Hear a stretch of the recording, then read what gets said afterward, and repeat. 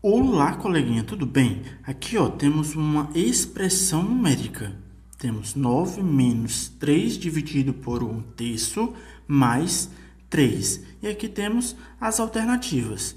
Antes de eu resolver, peço para você, ó, tentar resolver aí e deixar nos comentários a sua resposta. Beleza? Hum, agora, ó, vem comigo. Perceba o seguinte, ó temos uma subtração aqui, temos uma divisão aqui e uma adição. Pela ordem de resolução das operações, primeiro resolvemos as multiplicações e divisões, depois a adição e subtração. Então, dessa forma, como não temos aqui ó, multiplicação, temos aqui uma divisão. Então, temos que resolver primeiro essa divisão aqui. Isso. Então, Vamos repetir esse 9 menos. Resolvendo essa divisão, temos 3 dividido por 1 terço. Isso. Você não pode pegar, cortar esse 3 com esse 3 aqui de baixo, porque ó, aqui temos uma divisão, onde envolve aqui ó, uma fração.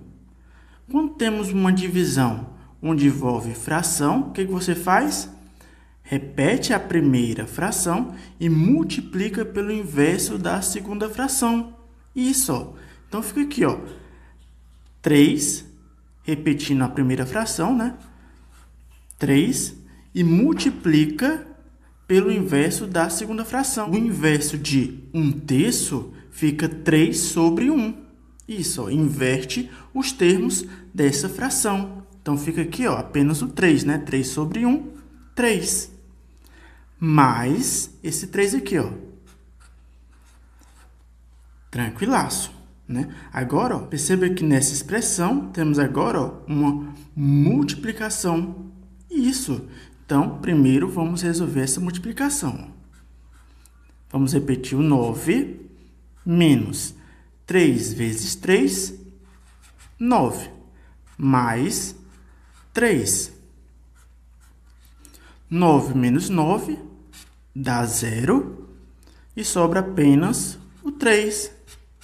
Então, temos que o valor dessa expressãozinha aqui ó, é igual a 3. Podemos marcar o item B, B de beleza.